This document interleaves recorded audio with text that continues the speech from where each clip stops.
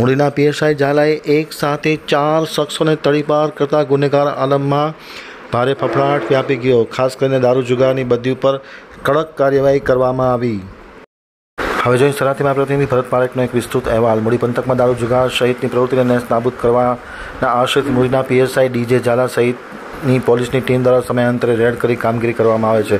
પરિણામે અસામાજિક તત્વો પર જબરજસ્ત પકડ જમાવવામાં આવી છે. મૂળી પોલીસ દ્વારા પંદર ઇસમો સામે હથપારની કાર્યવાહી કરતા ભારે ચકચા જાગી છે. ખાસ કરીને ગુનેગારોને સીધા દોર કરવાના આશયથી પીએસઆઈ ઝાલા અને તેની ટીમે આ કામ હાથ ધર્યું છે.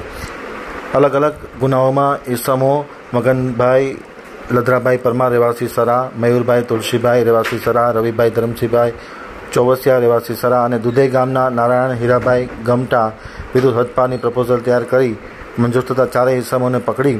સુરેન્દ્રનગર જિલ્લા અને અન્ય જિલ્લાને અડી અને આવેલા રાજકોટ ગ્રામ્ય, અમદાવાદ ગ્રામ્ય, મોરબી, બોટાદ ચાર જિલ્લામાંથી બે વર્ષ સુધી હદપાર કરી અને તેમને બહાર મોકલી આપવામાં આવેલ છે. કચ્છ મહેસાણા જિલ્લામાં મોકલી આપતા સમગ્ર મૂડી પંથકમાં અસામાજિક તત્વોની સામે ફફડાટની લાગણી વ્યાપી ગઈ છે. ખાસ કરીને પીએસઆઈ ડીજે ઝાલા સરા ઓપીને એએસઆઈ હરદેવસિંહ ઝાલા સહિતની ટીમે ખૂબ જ અસરકારક પગલું ભર્યું છે અને પોલીસની ધાક બેસાડતી કાર્યવાહી હાથ ધરવામાં આવી છે.